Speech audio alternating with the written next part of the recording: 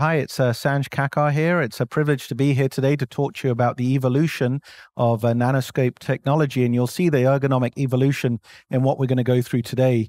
We've all learned the power of nanoarthroscopy. For example, in hand and wrist, I use the acronym FIRST. F stands for fractures and fusions. I is for instability, such as, for example, TFCC instability, scapholunate. R stands for the reduction. So now we can get anatomic articular reductions of our fractures. S is for small joint arthroscopy, such as the thumb, the MCP joint, and the DRUJ, which were previously harder to do with traditional arthroscopy.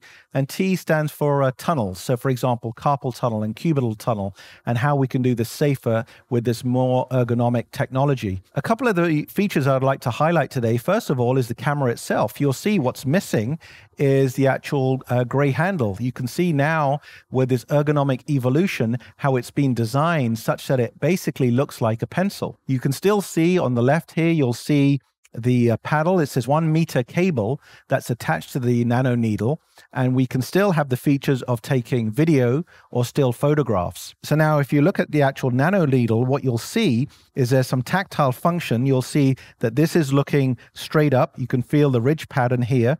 And you'll actually see we still have the 1.9 millimeter chip on the stick technology, which is flexible, which is what we need for those difficult areas to get to, such as the DRUJ, when we're gripping this. So not only has there been an ergonomic evolution in terms of the camera, but also the cannulas itself. So if we look at the cannulas, what you'll see here, there's a screw-in mechanism, and this will be used for other procedures. For example, where devices can be attached. For example, if we're deploying a FiberTak, doing this nano through the nanoscope, you'll also see as we pull back, there's a little sort of paddle here.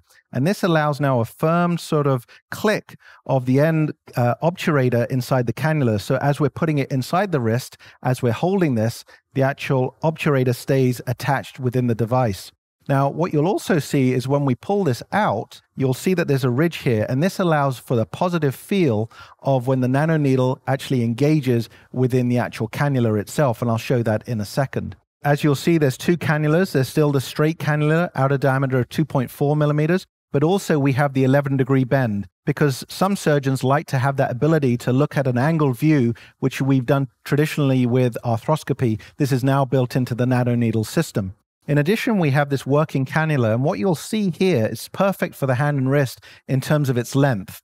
But you'll also see this sort of pattern here at the tip called this knurl, which actually, once you're into the joint, prevents the actual cannula from actually disengaging out of the joint. So, one of those frustrations that we always have is the capsule preventing you going in and out of your working portal. But now you have this cannula that sits in there and in addition, it's designed to be wide enough to allow, for example, your two millimeter nano shaver to go through there or the 2.8 millimeter shaver or burr. So in this way, you basically have a system that allows you to do all your nanoscope debridements and procedures. What I want to show you is this latching mechanism. Now you'll see how the nanoneedle seamlessly integrates within the cannula and actually stays connected. So no more of this telescoping in and out of the actual cannula.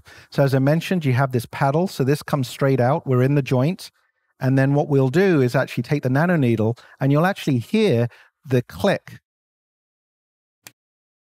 where it's engaged. And now you'll see when I'm trying to pull, how it doesn't come apart. So now what we can do is seamlessly and safely position this within the wrist without the worry of the actual nanoneedle telescoping in and out of the cannula.